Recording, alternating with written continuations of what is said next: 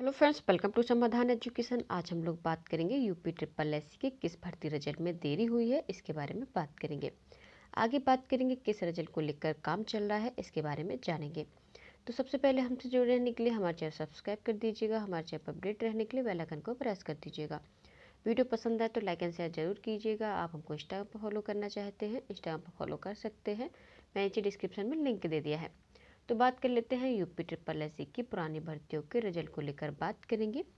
UP triple S ने student को फिर निराश कर दिया है, क्योंकि जूनियर असिस्टेंट 2019 का रिज़ल्ट पहले मार्च के महीने में जारी होने वाला था, लेकिन अब मार्च के महीने में जारी नहीं होगा।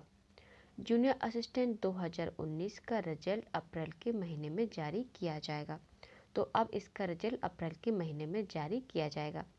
आगे बात कर लेते हैं जूनियर असिस्टेंट 2016 को लेकर बात कर लेते हैं। जूनियर असिस्टेंट 2016 की टाइपिंग टेस्ट हो चुकी है। इसके बाद इंटरव्यू कराया जाएगा। Junior assistant 2016 typing test result March April के महीने में जारी किया जाएगा। आगे बात कर लेते हैं इस किस भर्ती रिज़ल्ट को लेकर काम चल रहा है। तो यूपी ट्रिपल एससी में युवा कल्याण अधिकारी के रिज़ल्ट पर काम चल रहा है। ज़्यादातर काम पूरा हो चुका है। जल्द से ये रिज़ल्ट का काम पूरा हो जाएगा और मार्च के महीने में युवा कल्याण अधिकारी का रिज़ल्ट जारी कर दिया जाएगा। लेकिन अभी डेट को लेकर कंफर्म नहीं है कि 15 मार्च को रिज़ल्ट जारी किया जाएगा या 25 मार्च को रिज़ल्ट जारी किया जाएगा, लेकिन होली से पहले इसका रिज़ल्ट जारी कर दिया जाएगा। तो युवा कल्याण अधिकारी का रिज़ल्ट होली से पहले जारी कर दिया जाएगा और जूनियर असिस्टेंट 2016 की टाइपिंग टेस्ट को लेकर काम चल रहा है।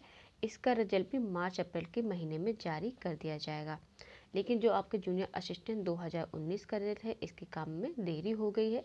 तो इसका रिज़ल्ट मार्च के महीने में आने के चांस नहीं है। जूनियर असिस्टेंट 2019 का रिज़ल्ट अब अप्रैल के महीने में जारी किया जाएगा। तो अब भर्ती विज्ञापन है, रिज़ल्ट एंड एग्ज़ाम डेट से रिलेटेड इन्फॉर्मेशन आप मेरे टेलीग्राम चैनल पर जाकर देख सकते हैं। टेलीग्राम चैनल का लिंक मैंने नीचे डिस्क्रिप्शन में दे दिया है। तो आज की वीडियो में इतना ही, मिलते हैं आप लोग उस नेक्स्ट वीडियो में। थैंक यू जय हिंद जय भारत